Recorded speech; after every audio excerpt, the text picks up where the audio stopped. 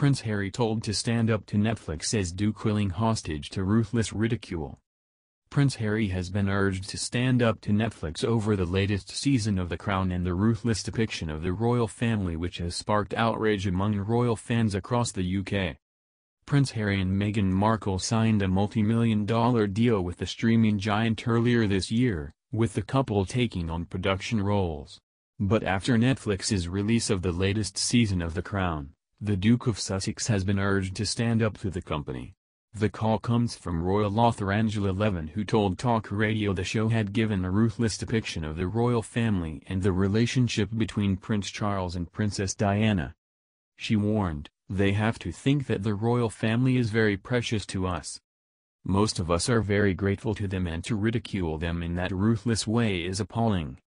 I don't suppose Meghan minds it, it's not her family and she was very unhappy here. But I think Harry has got to stop being a willing hostage and stand up for himself and say I do not want my family treated like this and I am not going to join in if they're going to do that.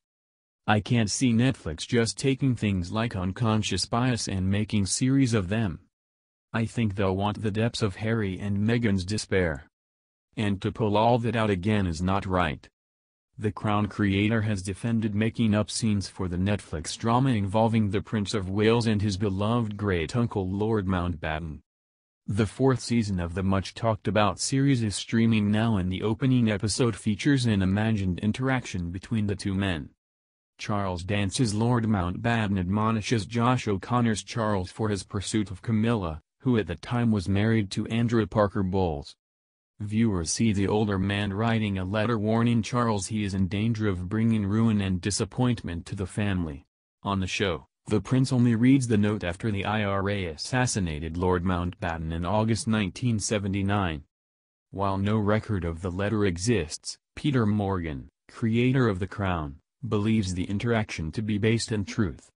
Speaking on the show's official podcast, he said, what we know is that Mountbatten was really responsible for taking Charles to one side at precisely this point and saying, look, you know, enough already with playing the field, it's time you got married and it's time you provided an heir. As the heir, I think there was some concern that he should settle down, marry the appropriate person and get on with it.